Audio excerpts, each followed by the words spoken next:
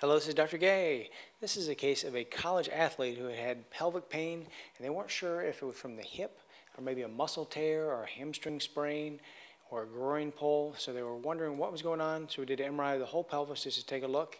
And on the pelvis, we see several things. We did a big field of view so you can see lots of anatomy.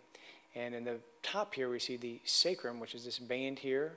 This is the right side, this is the ilium and this is the left ilium, they come together to, call, uh, to form the sacroiliac joints. Again, so here's the sacrum in the middle, and the ilium in the outsides. Here's the left SI joint, looks great. The right SI joint looks great. And we also can see the hip joints. Here's the right hip joint. There's a left hip joint.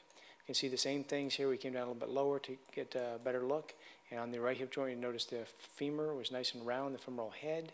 And there's a little band of cartilage around the periphery of this bone, this cup called the acetabulum, and that is the labrum, and the labrum looked good on both sides, so no um, evidence of any significant abnormalities there. So we kept on looking at the muscles around, they looked good. There was no effusion in the hip joints, so we kept on looking for the hamstring tendons.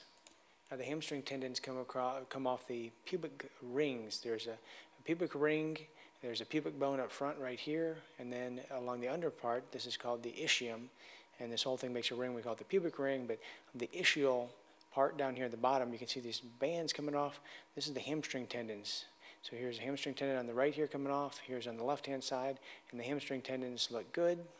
This is another view of the hamstring tendons. This is the right hamstring tendon origin, and here's where the tendons are. There's three of them together here, and three of them together blended here on the left, but both of those look just fine.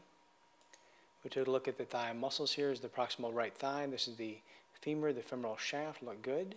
Here's the femoral head. So the last one we looked at was the symphysis pubis, which is right here. This is where the pubic bone in the right and left come together.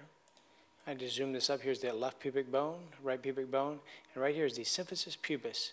And there's a little bit of superior protrusion right here, which is not normal. A little bit of arthritis developing, and right here in the middle part, we see a normal area of brightness, vertically oriented. This is a normal little area of fibrocartilage that cushions between the, the two bones, and that's normal. They call it the primary cleft. But there's another one down here that's even brighter that is not normal.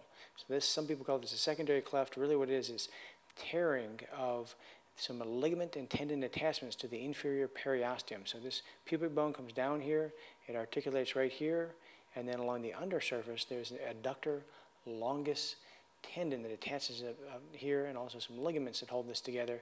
And right where they attach to the bone, they're peeled off. It's a, um, an avulsion type peel injury of the ligaments from that periosteum. And so this is what they call, this is what's causing their pubic pain, and it, will cause instability um, of the symphysis pubis and pain, which is what they call pubalgia.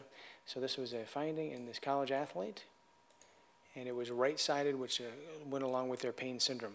Sometimes patients can have marrow edema on both sides of the joint. This patient did not have significant marrow edema. And sometimes the tears can be more extensive and there can be offset of the, the bones here, which I don't see.